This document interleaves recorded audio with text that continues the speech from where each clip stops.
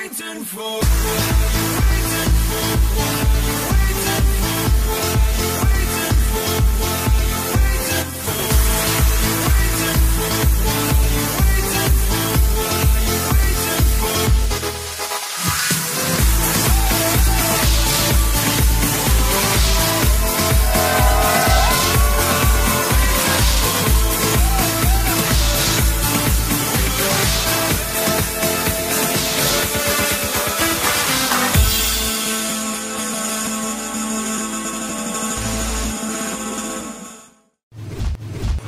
Estudantes. Para estudantes.